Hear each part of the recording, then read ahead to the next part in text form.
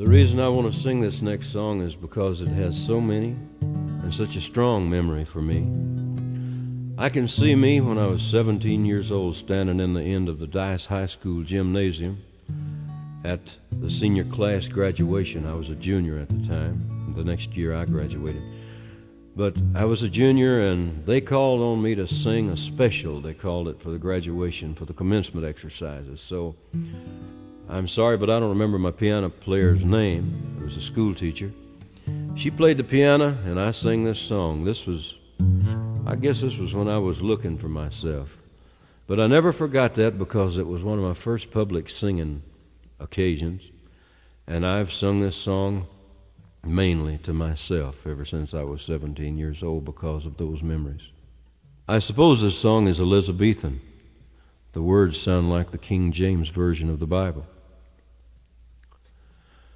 Drink to me only with thine eyes, and I will pledge with mine. Or leave a kiss within the cup, and I'll not ask for wine. A thirst that from the soul doth rise, doth ask a drink divine. But might I of Jove's nectar sip, I would not change for thine.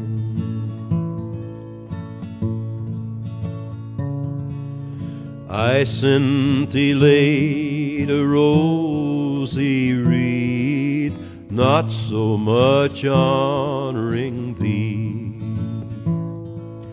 as giving it a hope that there it could not withered be.